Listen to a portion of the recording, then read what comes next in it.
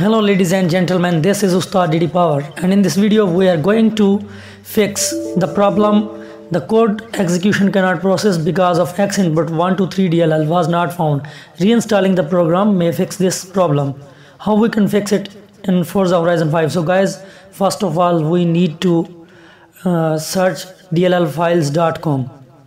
This is a website for DLL files download x input 1 to 3 dll freedll.com we need to search this website. So in first link we need to enter and we need to download the file of our windows bits. If we have 64 bits window we need to download for 64 or 34 if we have 34 uh, 32 bits window we need to download 32 so i am downloading uh, 64 bits win 64 bits window because I already downloaded it so I will not download. So guys we need to uh, cancel it again and need to enter internet download manager. And uh, now we need to find this file. And we need to take it on desktop okay?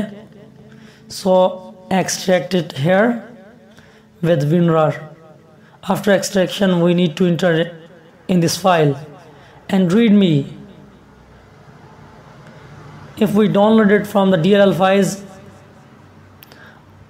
or if you download it from the somewhere else the method will different. So if we uh, so if we download it from dllfiles.com we will directly copy it or move, cut it and go to windows and need to search to the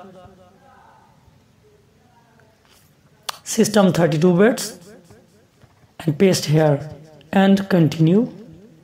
Okay after paste here refresh the computer. Okay x input 1 to 3 already paste. Refresh the computer and go back. Again refresh again refresh. Okay. Then need to enter to the my computer and go where your game is installed so click on the icon of Forza Horizon 5 yes I already clicked on Forza Horizon 5 launcher. Guys you can see file is working. Game is totally working. Okay let's see. Yes guys game is totally running and working after following this way this trick Forza Horizon 5 finally started Playgrounds games. So guys, it was the method how we can fix it. Yes, game is totally working. You can see Forza Horizon 5.